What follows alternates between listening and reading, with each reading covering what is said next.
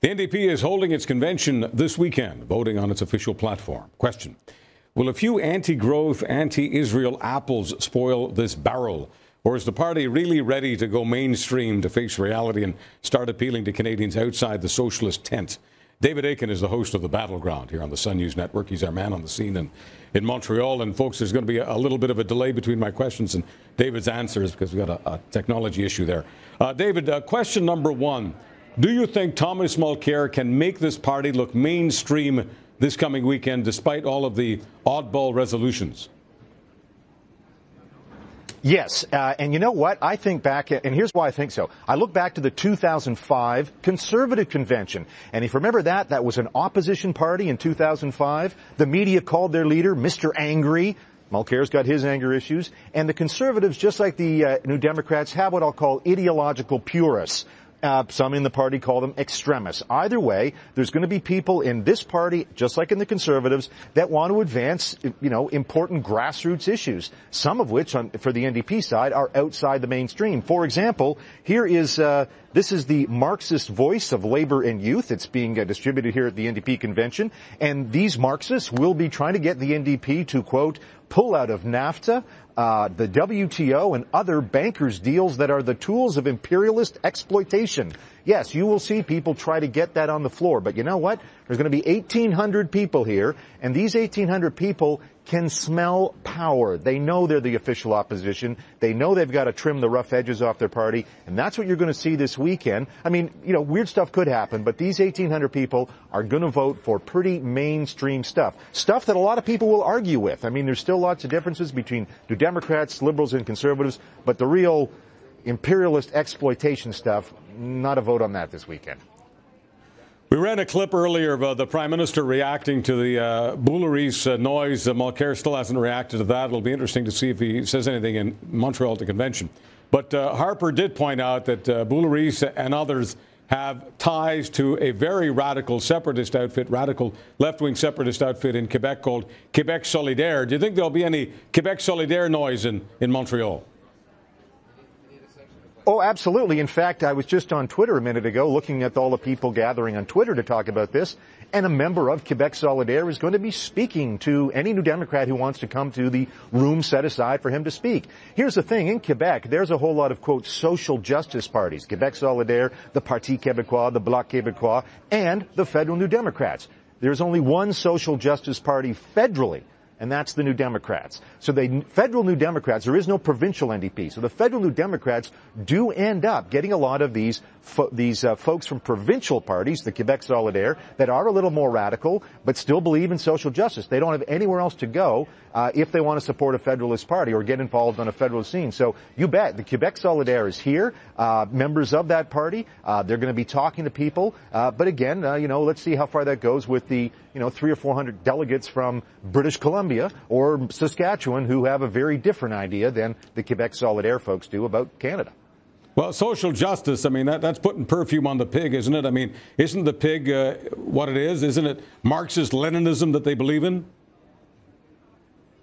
Oh, absolutely. I mean, there's, there, it's, you know, left and, and, a little bit lefter and, and really further left. You're right, but this is the, this is the party of the left. It's not like the, uh, not necessarily like the, the liberals and conservatives may have find some more common ground. This is the only, uh, real, uh, party of the left on the national spectrum. So it attracts the Marxists, the Leninists, the Trotskyites, the Maoists, you name it. And a challenge, of course, for Tom Mulcair and the federal NDP is they want to win the next election by appealing to suburban Ontario, suburban Calgary, suburban Vancouver mainstream voters uh, who may not like Marxist Leninism, Mao, Trotsky, etc. So uh, this is one of those things where, hey, it's uh, it's called democracy, it's grassroots. Uh, the uh, extremists, the ideological purists, uh, they're going to try and have their day in the sun here at this convention, and I think the majority of New Democrats here are going to try and say yeah, okay, that was that was us when we were kids. We've grown up, and here's our ideas about how to run a Canadian economy.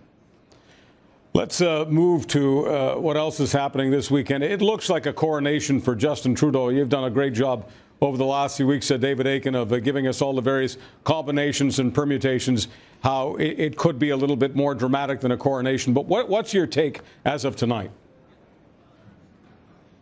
Uh, well, I think, uh, well, first of all, I'm surprised at the very high voter turnout. I mean, there's still a little time to vote.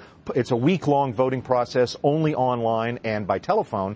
And, you know, uh, 87,000 or so of the 127,000 eligible voters have already cast a ballot, and they can do so till Sunday at 3 o'clock Eastern. So that's pretty good voter turnout. It's going to be probably north of 70%. Uh, we didn't see that kind of voter turnout when the NDP chose Thomas Mulcair last year. Their voter turnout was around, uh, you know, 51, 52%. Uh, so that's the first thing. That's encouraging for Liberals to see high voter turnout. Um, and I think we're going to see, yes, I think uh, Trudeau has a good chance to win on the first ballot. But there could be two ballots, and that would mean that on the first ballot, Trudeau did not get 50% plus one, that Liberals voted for, for a majority of Liberals voted for somebody else. And I think that might be the only interesting drama of the weekend. I think Trudeau will win it, but whether it's one ballot or two. Who's going to finish second? I think it's going to be Joyce Murray. Joyce Murray has some ideas about cooperating with the very folks are going to be sitting behind me all weekend with New Democrats. Uh, she is the anybody but Harper candidate, and if it means uh, getting in bed with uh, New Democrats, Greens, whatever, uh, Joyce Murray uh, thinks Liberals ought to do that. Trudeau says no, we ought not to do that. Now, here's the thing, uh, Charles. We're looking at some new polls, including our own, that suggest the Liberals don't need to cooperate. They are showing some strength again. We'll see if that's just because of the convention, or you know, if that's going to be the new long-term trend. David Akin, uh, you were uh, tweeting something early this morning that I was uh, looking at, and it was from our friends at Abacus, David Coletto's organization, and it was about favorability numbers. And Justin has good favorability numbers in all demographics in all parts of the country right now. Lots of likability, something you and I have talked about before on TV and on, on radio. But, but the number that I'm always looking at is the number for is he qualified to be prime minister? Because unless he can cross that threshold, uh, everything else to me just becomes a bunch of small talk. It doesn't look like he's crossed that threshold to me. Not yet, but he's got two years, don't forget. And you're right, that is a very important number to consider. But he starts with a whole lot of goodwill. And you know, anybody taking over any party would love to have these kind of numbers to begin with, where Canadians, by and large, think highly of Trudeau, think he's likable, uh, think he's got a good vision for the country, all, all, these sort of mushy, warm, good feelings. So that's, I guess, good for Trudeau. But you're right, a lot of, more Canadians still believe he's more style than substance, and not a lot of them are, say, are ready to say he'd make the best PM. But as I say, he and his people will have two years Uh, to firm up their policies, to present himself as a potential uh, prime minister. And my line of the day is, well, you know, Trudeau has got two years to figure out economics. Harper's got two years to figure out getting a better haircut. I mean, I don't know how Harper will match up against Trudeau because the only thing he could do is, what is he going to do? Make himself more popular? I think Harper, the prime minister, just has to continue to govern. But so does Mulcair. Mulcair would rather compete against Harper on that competence factor, on being perceived as a good administrator, rather than try to compete with Trudeau and his uh, and his style.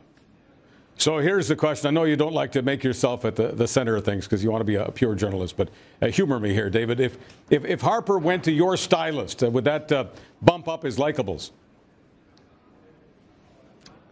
I'm not so certain, Charles. I'm pretty sure no one wants to go to my stylist, but uh, right. but we'll see. We've seen we've seen Harper try to make himself a little more cuddly. You know, he's all these hockey pictures, day in the life with his kittens. Um, you know, the the man is uh, trying to open himself up a bit.